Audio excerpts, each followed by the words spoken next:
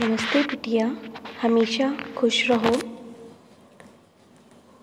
My self जेवियन doctor Puja Sharma assistant professor in स्वस्थवर्ता department faculty of Ayurvedic science Jyoti Vidyapeeth women's university Jaipur Rajasthan last class में हमने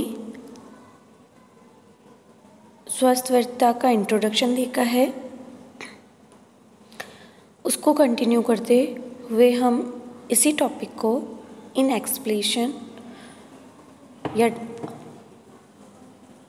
विस्तृत में पढ़ेंगे। उसके इन topics के regarding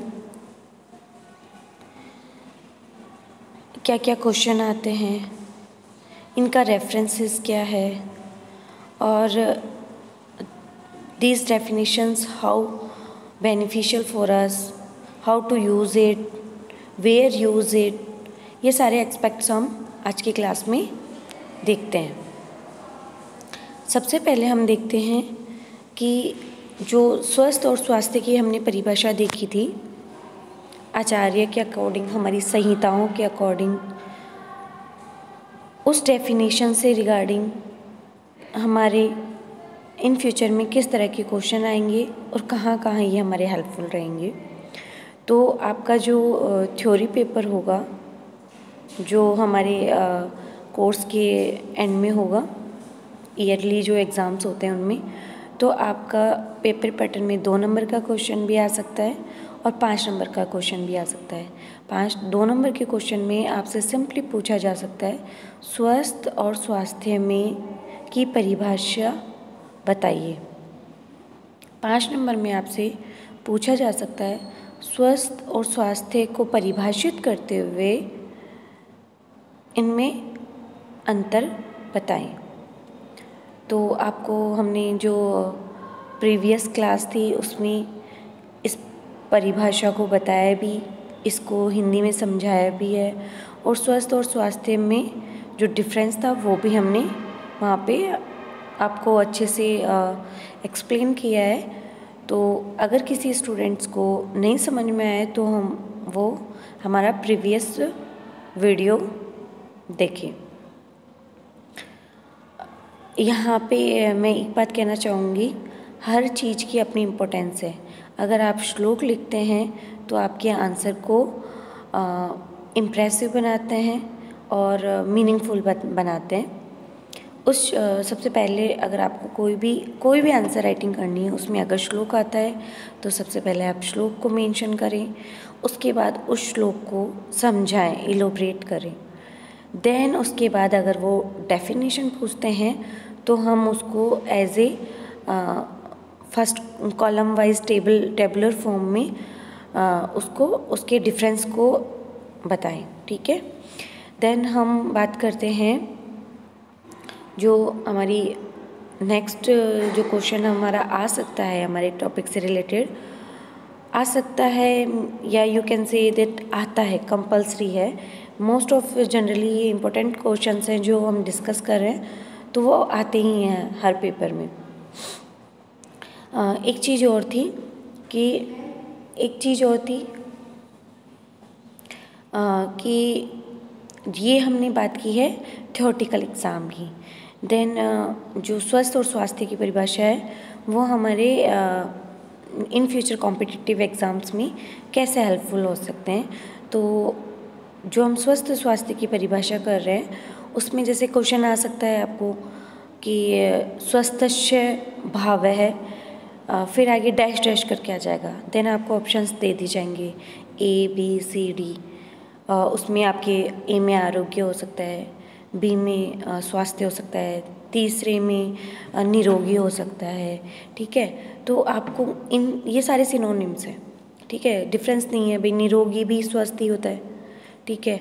और आरोग्य भी स्वस्थ ही होता है। तो लेकिन यहाँ पे पर्टिकुलर जब हम श्लोक की बात कर रहे हैं तो फिर हमको वो वर्ड पर्टिकुलर वर्ड ही वहाँ पे फिलअप करना होगा।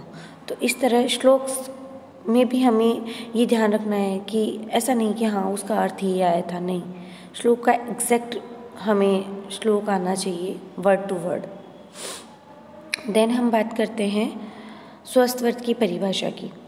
तो स्वस्थ वर्त की परिभाषा हमने कल लास्ट क्लास में अच्छे से इसको, श्लोक को पढ़ा, इसको पढ़ना सीखा, इसका अर्थ निकाला।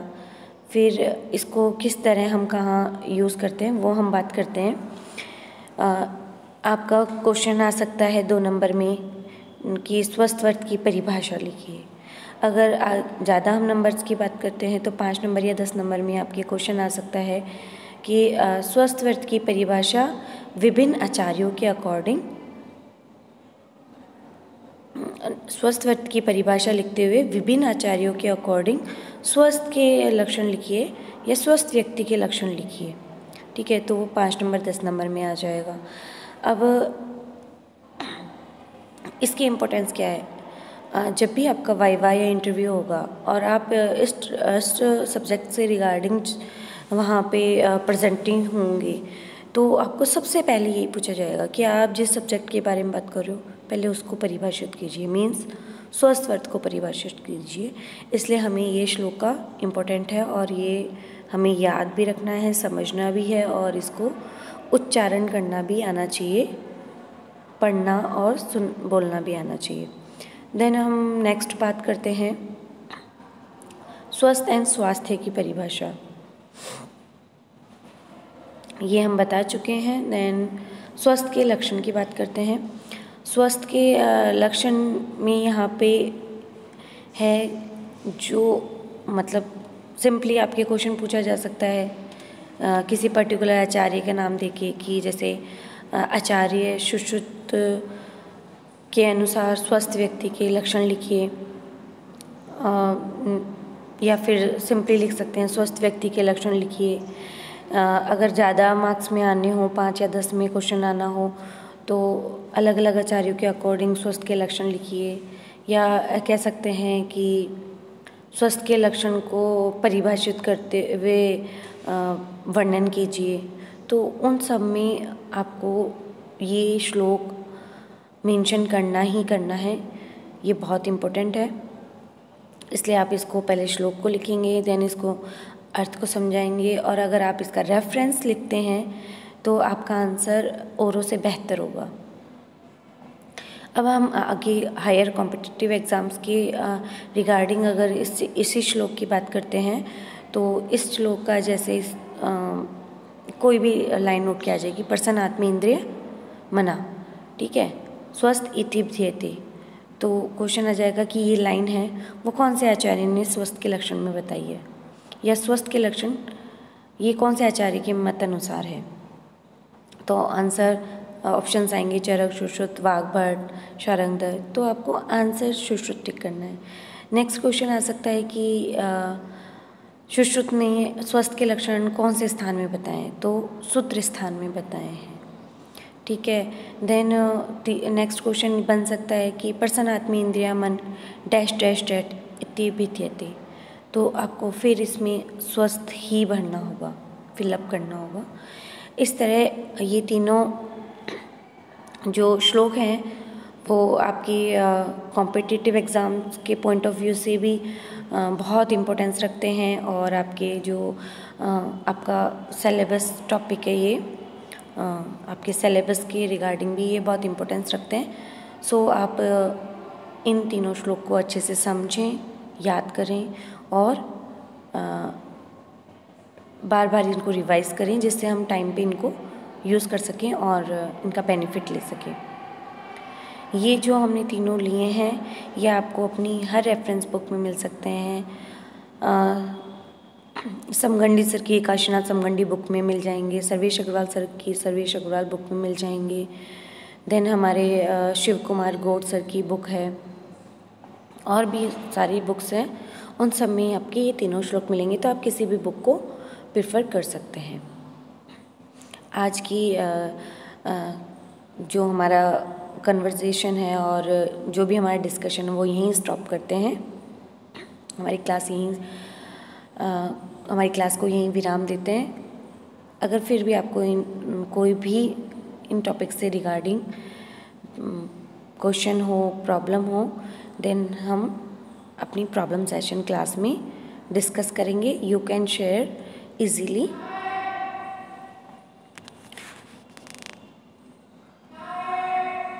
thank you नमस्कार, खुश रहो।